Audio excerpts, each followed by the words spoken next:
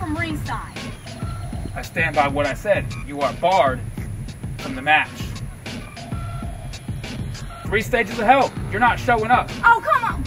Is it because of what I did to Outlaw's family? Oh, come on. I did not even hurt the little baby for crying out loud. Cross line.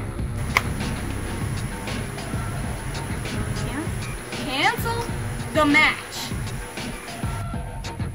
Want me to cancel the match? I'm not gonna cancel the match. Cancel the match. Or else. Or else what?